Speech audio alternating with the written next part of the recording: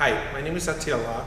I started martial arts a few years ago. There was a challenge program about weight loss and uh, I signed up for the program and I lost 50 pounds during the program and I won $1,000 award. I was very happy, not just about the money, I was very happy because I lost my weight and uh, I had a different life after all and I felt much better.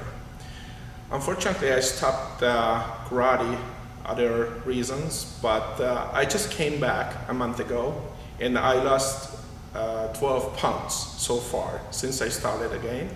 So I'm very happy I'm, I'm uh, the part of the team again, which is very important for me because the team is like my family and that's give me a power to continue the job in the team and to continue to weight loss program because uh, I, I would like to lose more weight because uh, it just came back unfortunately and uh, that's my, my challenge to go back to the original weight what I was 265 pounds. That's my target.